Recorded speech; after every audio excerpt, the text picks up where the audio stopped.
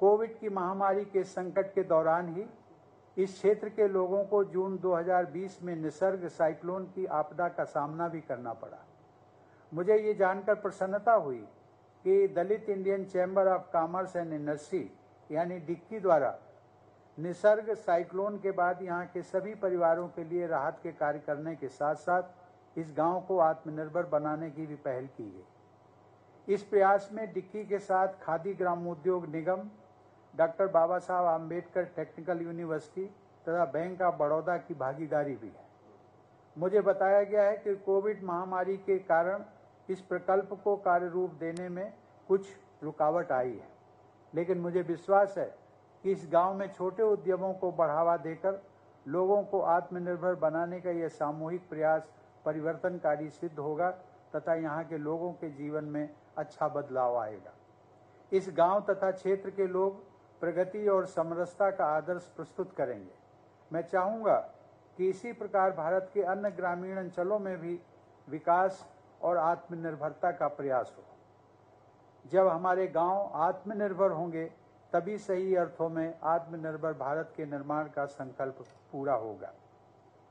इस संदर्भ में यह बताना प्रासंगिक है कि बाबा साहब भी स्वरोजगार के समर्थक थे।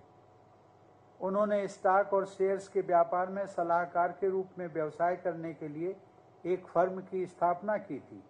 सीपीडब्ल्यूडी के टेंडरों में वंचित लोगों की हिस्सेदारी की मांग करते हुए उन्होंने सन 1942 में वाइस राय लिनलियो थगो को ज्ञापन दिया था।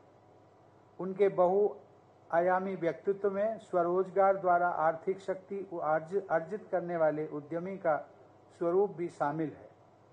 अपनी व्यापक सामाजिक व राजनीतिक जिम्मेदारियों के कारण वे उद्यमी पक्ष को समय नहीं दे पाए। लेकिन उनके प्रयासों के फलस्वरूप आज हमारे देश में हर वर्ग के युवा स्वरोजगार द्वारा सफलता के कीर्तिमान स्थापित कर रहे हैं। वंचित वर्ग से निकले सफल उद्यमियों की प्रेरणादायक कहानियों की दलित मिलीनियर्स जैसी पुस्तकें प्रकाशित और लोकप्रिय हुई हैं। उद्यमशीलता से जुड़े इस सराहनीय परिवर्तन में यहाँ उपस्थित डिक्की के फाउंडर चेयरमैन पद्मश्री से सम्मानित डॉक्टर मिलिंद कामले जैसे लोगों का उदाहरण अनुकरणीय है। ऐसे उद्यमियों की उपलब्धियाँ बाबा साहब के बहुआयामी योगदान का एक महत्वपूर्ण पहलू है।